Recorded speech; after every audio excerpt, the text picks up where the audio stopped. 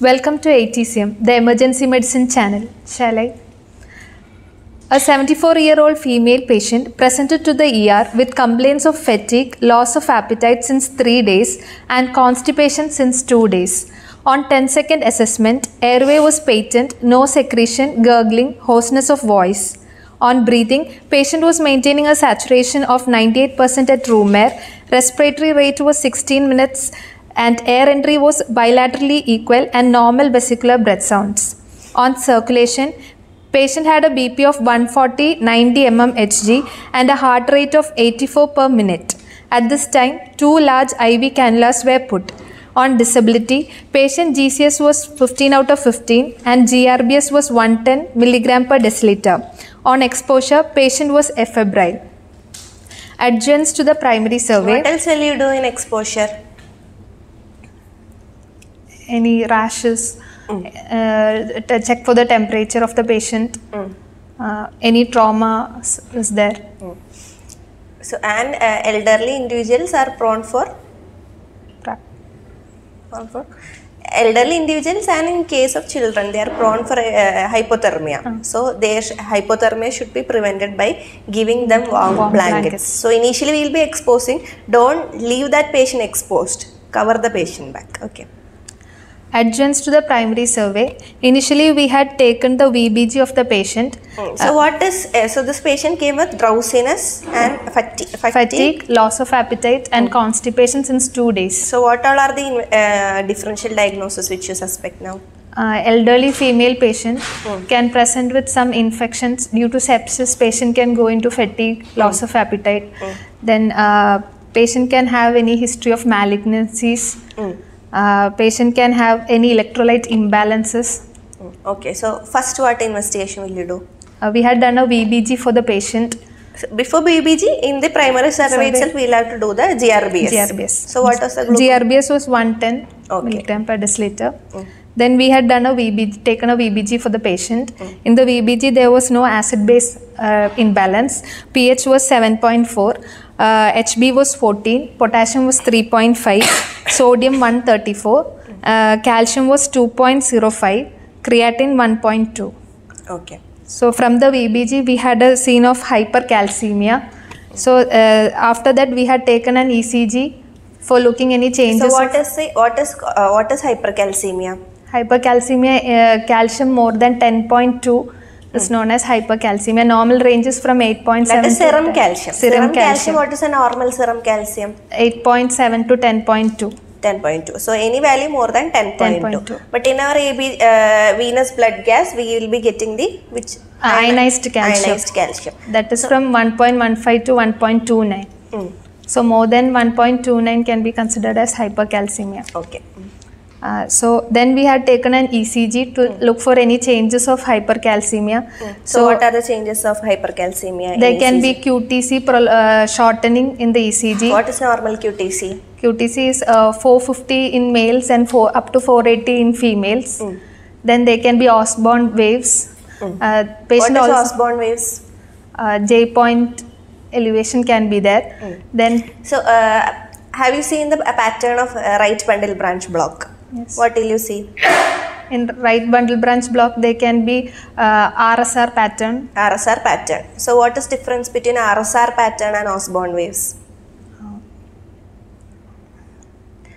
So, RS R dash pattern, we will be seeing the first R small and the second R will be taller. mm. Whereas in Osborn waves, the first R will be taller than the second R. Okay. And uh, Osborn waves are seen in which all conditions? One is hypercalcemia. Uh, then Classically, it is seen in hyper Hy- hypothermia. Thermia. Hypothermia. So, if the patient, if you are seeing a patient, it might not be secondary to any drowning or exposure to any ice or anything.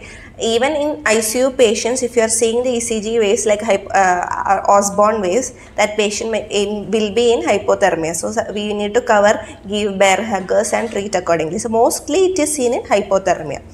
Okay. And QTC narrowing also. narrowing. Um, then we had uh, done a CBC CRP for the patient to rule out any sepsis is present.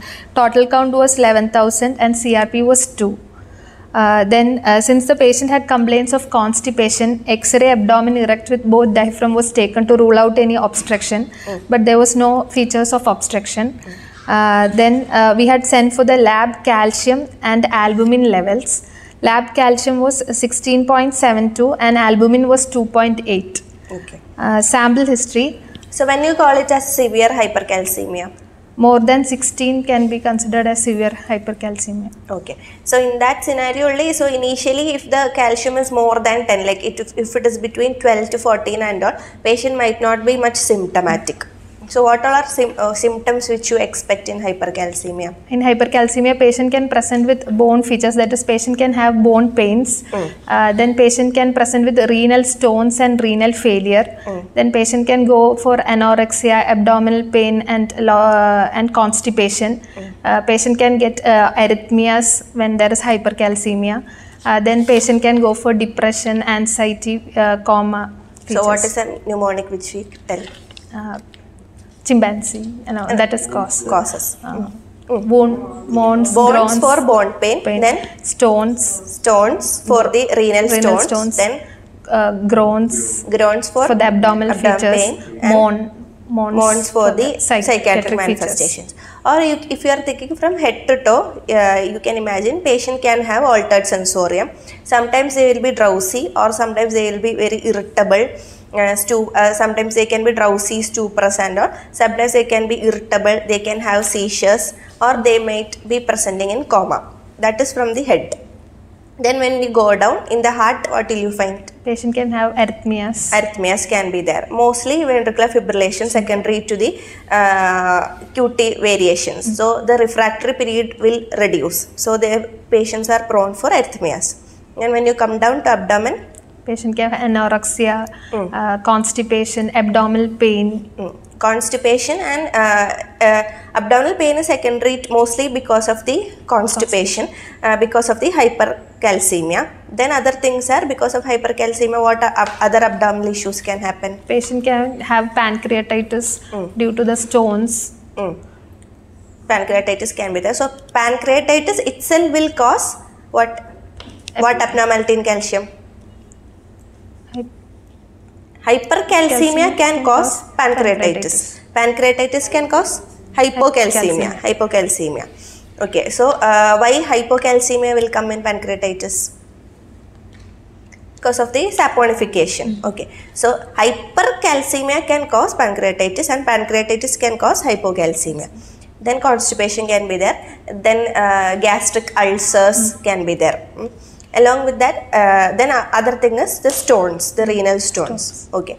And hypercalcemia can cause what abnormality in urine? In the frequency Uh, of poly, polyuria can be there. Polyuria, polydipsia Polydipsia. are features of hypercalcemia. And uh, when you come to the musculoskeletal, Bone pain can be bone there. pains can be there. Okay.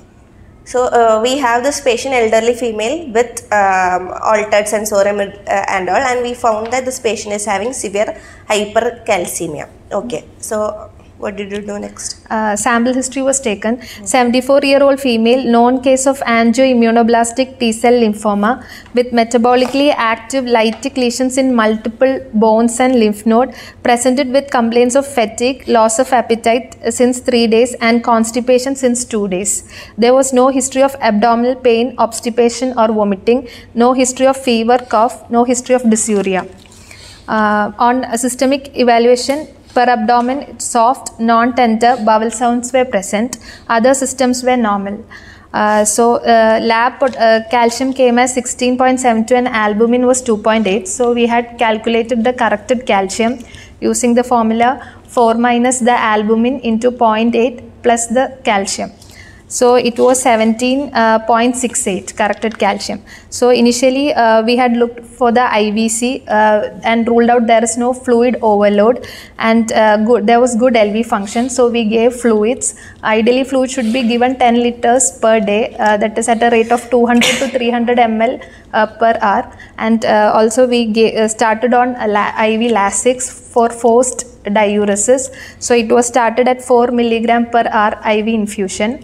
Uh, then after that we started the patient on injection calcitonin. So the, uh, fluids and Lasix can be given for initial treatment of uh, hypercalcemia. So that is okay to be given. The rest of the treatment for hypercalcemia sh- uh, should be done after finding out what the cause is. So this patient, it is clear that this patient is already having a lymphoma. So lymphoma might be the cause of hypercalcemia. If in another individual, if we don't know the cause, uh, we cannot give uh, calcitonin or steroids before knowing what the cause is.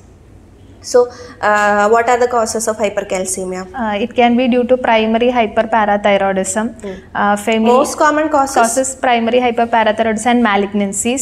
So, uh, most commonly it will be parathyroid adenoma. Then any other hyperparathyroidisms. Okay. Then it can be due to familial hypocalciuric hypercalcemia. Uh, then it can be due to uh, any neoplasms. Uh, then aluminum intoxication can be there. Zollinger-Ellison syndrome can be there. Um, then it can be due to uh, electrolyte imbalances can be there. Um, these are the causes. So, uh, mostly how is calcium used up in the body? Uh, how is the calcium absorbed and uh, removed? 90 percentage uh, uh, of calcium is in the 99 percent of calcium is in the bone and Bones. 1 percentage is in the extracellular fluid Okay. So, how will uh, body metabolize the calcium? So, body will absorb the calcium from the intestines. Intestine. Okay. And if at all the body is going into hypocalcemia, it will use from the bones also, and it will be removed through the kidney. And if there is hypocalcemia, body will try to prevent removal from the kidney.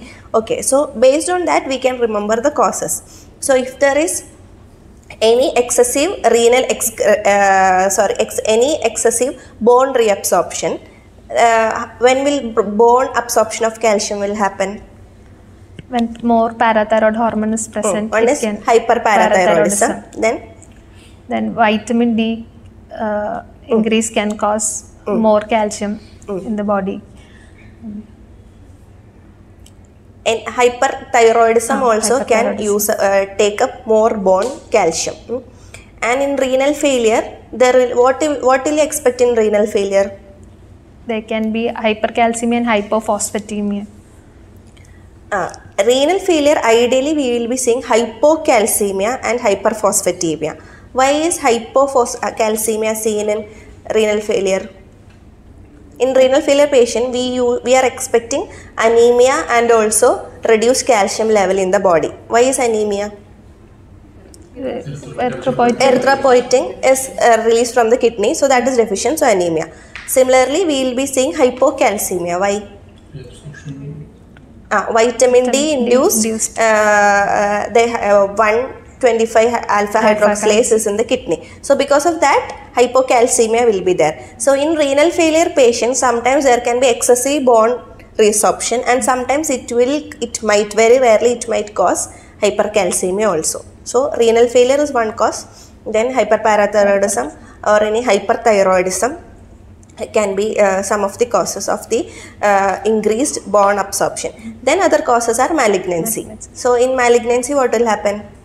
in malignancy also parathyroid related peptide will be increased so due to that they can be hypercalcemia then they can be vitamin d increased Or in malignancy, there can Calcium. be uh, bone mobilization, excessive osteoclastic activity. This can also increase the calcium in the body. That is the bone related thing. Next is the urine related thing. So, uh, calcium is excreted through urine. So, when will calcium excretion be reduced? renal failure. Uh, renal failure okay. Any familial conditions? Ah, familial familial uh, familial loss of if uh, some familial diseases will have reduced calcium uh, uh, uh, removal from the body. And thiazide diure- diuretics also. Thiazide diuretics will have reduced calcium excretion from the body so that can also cause hypercalcemia then Third one is the intestinal cause. So excessive intestinal absorption. When will that happen? Mm. If you are- Excessive supplementation of calcium so uh, some patients might be already diagnosed to have vitamin D deficiency or hypocalcemia. They might be taking excessive calcium. That itself can cause hypercalcemia. Then, then is the milk alkali syndrome, alkali uh, vitamin D intoxication. These things. So these are the main three uh, broad classification of the causes of hypercalcemia. One can be excessive mo- bone mobilization or excessive uh, reduced uh, excretion or, or it can be because of Increased increased absorption. Okay. So how will you evaluate? So initially we have to send for the parathyroid hormone levels. Mm. If the parathyroid hormone level is found to be elevated, then you can go for the urinary 24-hour calcium levels. If the urinary calcium is also elevated, then we can diagnose it as primary hyperparathyroidism. If the urinary calcium is found to be low, then it can be diagnosed as familial hypocalcemic hypercalcemia. Then, uh, then we can go for if the parathyroid hormone is found to be so normal. urinary calcium 24 hour sending will be difficult from the ER. So in the ER, what all are the feasible investigations which will be able to do? Uh, parathyroid levels, we can send. Then calcitonin levels can be sent vitamin d levels can be sent the uh, vitamin D levels, usually calcitonin level vitamin D are very expensive tests. And mostly vitamin D, we are not expecting anyone to be in hypervitaminosis because mostly mo- 80% of the Indians are vitamin D deficient. Now, other than until and unless they are coming with an intoxication, we are not expecting extra vitamin D of, for that patient. So parathyroid is a feasible investigation. Then, then what is the other cause of hypercalcemia? parathyroid related peptides can be sent Oh, that is only when there is a malignancy, Malignancy. we are suspecting like that. That is also a uh, difficult investigation. Other causes? Easy investigation? Renal, fa- Uh, renal renal function, function test. test. So we can know whether there is any renal failure or anything. Uh, it can be mostly, as we told, see, uh, renal failure itself will cause hypocalcemia only. But we can see what is the renal functions. This hypercalcemia itself can cause stones that can cause obstructive uropathy and renal failure. So renal function test. Then anything in the liver function test album albumin levels and also alkaline phosphatase. What is the importance of alkaline phosphatase? in multiple myeloma uh, alp will both will be increased In malignancy, that is in, in case of any metastatic disease, ALP will be increased because of the bone metastasis and all. ALP will increase. But in multiple myeloma, even though it is a bone related uh, cancer, ALP will be normal. Okay. So, uh, what all things we told? Uh, parathyroid levels, uh, renal function test, and also uh, uh, alkaline phosphatase and albumin. Why albumin is important? because uh, 40 percentage of the calcium is bound to the albumin in the ECF. Yes. So, uh, usually albumin, significance of albumin will come only in hypocalcemia. If you are seeing a very low calcium and we can check with the albumin and see for the corrected calcium. Whereas in hypercalcemia, the role of albumin will be coming only if we are suspecting in terms of a multiple myeloma. So, what is the classical feature of multiple myeloma? It- AG reversal will be there. So AG, we are expecting an AG reversal because of excessive globulins mm. in multiple myeloma. So that is why in uh, patients in, with multiple myeloma there can be hypercalcemia and AG reversal. Mm. So in that scenario you can check albumin. Then what all things will be seen in multiple myeloma? Benson. What is CRAB? CRAB. Mm. C4? C4 hypercalcemia. R4? Renal failure. renal failure. Failure. Renal failure. Then A for anemia. Anemia. Hmm? B for bone pains. Bone pains. So C is hypercalcemia. R is for renal, Renal failure, failure. A is for anemia, Anemia. and B is for bone, Bone pain. pain. Sometimes we itself in our ER we might get patients coming like that, and from ED itself we have diagnosed uh, multi, uh, different patients with we at, we uh, uh, diagnosed at hypercalcemia. We managed, we evaluated, and we have found that ultimately the patient uh, had multiple myeloma. So uh, in this patient, we will be getting classical AG reversal. Along with that, we will be seeing excessive globulin levels will be seen, and we will see a normal alkaline phosphatase level. So it's if this is seen, we can evaluate based on the other investigation. What are the other investigation for multiple myeloma? X-rays can be taken. X-rays. X-rays of which are parts? Uh, mm. skull, skull bone to look for uh, punched, punched out, out light deletions. Then, uh, then spine, spine, spine X-ray and the pelvis X-ray to see for the lytic lesions. Then uh, ah, electrophoresis. Electrophoresis to see for the M band. Then then we can send the immunoglobulin levels, light chain and heavy chain immunoglobulin levels. Okay, based on that we can evaluate that also. So these are the causes. Okay.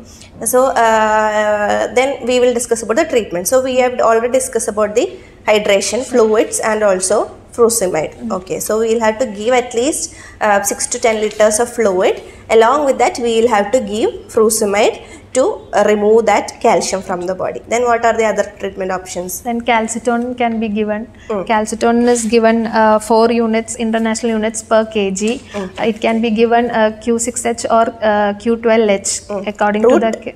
Ca- Uh, so it can be given subcutaneous or intramuscular. Uh, then the next modalities we can give bispho- uh, bi- bisphosphonates can be given. Normally given is zoledronic acid can be given.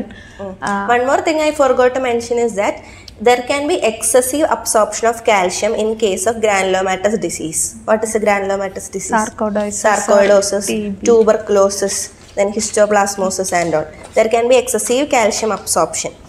So if we are suspecting in terms of sarcoidosis, how will you evaluate? we can go for the ACTH panel. Mm. Can be As um, ACE levels will be elevated, elevated. then you can see bilateral uh, lymph node. lymph uh, hilar lymph, lymph nodes nodes can be seen okay so uh, that should be there okay so uh, uh, so calcitonin levels calcitonin we, we can give as a subcutaneous, Subcutaneous or IM, IM. injections for uh, international units per units per kg. kg. okay then For this patient, 200 units was given as BD. mm. Uh, so what will calcitonin do calcitonin will uh, decrease the absor- absorption uh, from the intestine and also uh, promotes the excretion through the urine.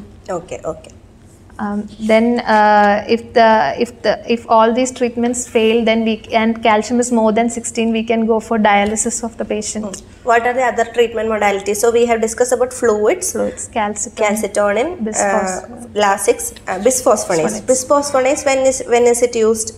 Uh, osteoporotic uh, if the patients are Provided that bisphosphonates are contraindicated in len- renal failure. Okay. If it is, uh, if uh, there is no renal failure, we can give uh, bisphosphonate like zoledronic acid. We can give 4 mg in 100 ml NS over 15 to 20 minutes can be given. Uh, or any other uh, etidronic acid or any other uh, bisphosphonates can be used. Uh, what is the role of bisphosphonate? Uh, it activates the uh, osteoclastic activity. Osteoclastic activity Activity. means it is bone reabsorption. Reabsorption. It will reduce, the Reduce osteoclastic, osteoclastic activity. activity. and it will also prevent the uh, it, it will enhance the excretion, Excretion. also. Okay. Then what are the other agents? One more thing you can give before going into dialysis. Steroids can be given. Steroids can be given. So what can be given? What steroids? Uh, uh, hydrocortisone can be given 200 Dose. to 200 to 300 milligram hydrocortisone can be given. Uh, then methyl prednisolone can be given. Uh, 1 to 2 milligram per kg can be given. Mm. What will steroid do? Um, steroids are mainly given in case of uh, sarcoidosis and um, tuberculosis. Two advantages are there one is it will reduce the inflammation, Inflammation. because of that lesions and other thing is it will it can calcium absorption decreases the calcium absorption. okay okay then last resort is dialysis. Dialysis. if everything fails and still if the patient is having hypercalcemia then the last resort is dialysis, Dialysis. okay then what happened to this patient now? What all things did we give this patient? We gave fluids, fluids, Lasix, and calcitonin injection was given. Uh, within 72 hours, the calcium got corrected in this patient, and the calcium level was 9.69 on discharge. Okay. So whenever you are monitoring the patient, make sure that you are always having the cardiac monitor attached. We need to look for arrhythmias also. And in elderly individuals, another thing is if you are giving large volumes of fluids, they can go into flash pulmonary edema all, especially if they are already having some renal failure also. That also should be taken care of. Okay.